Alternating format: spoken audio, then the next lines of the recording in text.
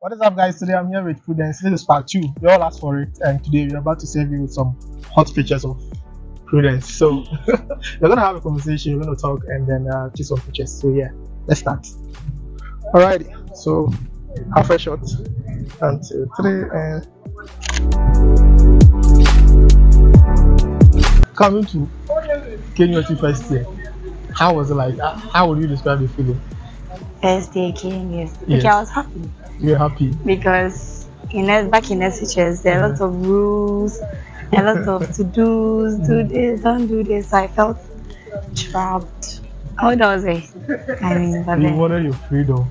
yes. So when I came here, it was more fun. And my mom didn't. My mom was a bit overprotective of us. She didn't allow us to go out a lot and everything. So she told us that when we get university, she'll give us a little allowance and everything. So I was very, very, very excited. Ah, so you wanted your money, you wanted your freedom, you wanted to, yes. wanted to be yourself, right? Yes. oh, that's that's that's nice. That's nice. First time on campus, first day on campus. Were you were you, were you confused? Were you were you like were you in a lost mood? oh no. Day on campus, I wasn't confused because my sister was already here. Okay. So she already gave me the tips, Ah. what to do. If there's anything wrong, I'll just call her and ask her, what do I do and everything. So Mhm. I felt like I Like home from home exactly. or home away from home. yes. oh, okay. What were you in first year? Your hall? I wasn't in a hall. You weren't in a hall. I was in a hostel. Oh, It was my sister's hostel. So Everything is your sister. yes. We have to bring your sister. Your Yeah. sister has to answer. She has to come. oh, she has been very, very helpful. Oh, wow. Like she In, in, in terms of. she she has made things easier for me. Mhm. Like it's, it's like she has cleared the path. So everything is more smoother mhm. than she experienced. Oh, okay. Yeah. How did you end up with geography engineering and why did you choose that course? Okay, so um back in high school Mhm. I offered science with geography Okay. rather than biology. And it was my dad that kind of coerced me into doing geography. And initially, I didn't understand why, you know, that kind of thing. Your parents want you to do this, but um, my sister told me once again. my sister mentioned that probably um, God is using him to direct my path and everything. right. When I started the course, it Right. was um, interesting. Was quite interesting, and I was grateful to God for um, going after the geography. Yes, I was grateful to God. When the results came, I did really good with geog- I chose ge- geological engineering as my very last course uh, program amongst the others. Uh, I wanted to do mechanical engineering so bad. Wow. You wanted to be a mechanic. oh, that would have been nice. I really wanted to go into mechanical engineering. But when I was given ge- geological engineering, I felt at peace. Like for some reason, I felt at peace. That's nice. And nice. um, although there are ups and downs, I'm enjoying it. And I'm grateful. To, I'm really grateful. Okay. Can you cross your arm like that? Yes, like that. Good, good, good. Straighten your head just a bit. Good, good. And uh, and to the side a bit. Good. That's nice. One, two, three, and. You can take your hand off your chin and cross it in front of you like good, like that. One, two, three, and.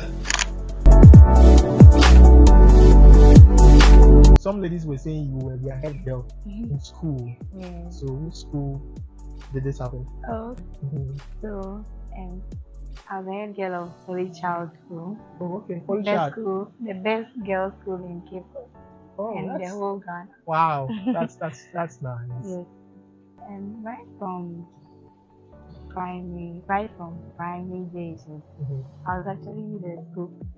Ah, Yes. coming in Chimu. The starting grade? So when I got to university, I mean high school, early Mhm. childhood, my sister was also in early childhood. Okay. So your sister has been leading the way since Yes, the exactly. 80s. And she was the assistant head girl too at Oh, the time. wow, wow. So um, I didn't have it in mind to be head girl, Mhm. but then when I got there, a lot of people were asking, "Oh, do you want to be head girl? Do you want to be head girl?"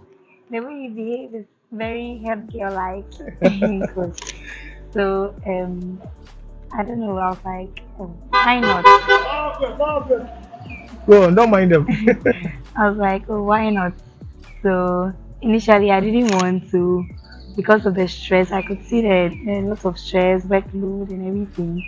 But then, um, my son motivated me. okay. Yeah, she said I should pray about it, Mm. and if I really want to, I should just go. I, I like you stand there, just like that. Yes. Just like that. Um, come closer to you. Mm, nice.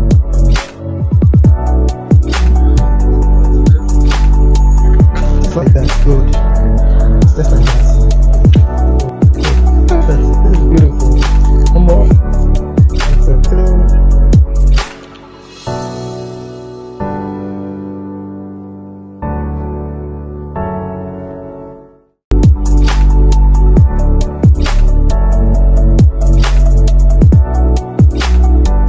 You just be, there yourself, and I'll just try to take some pictures.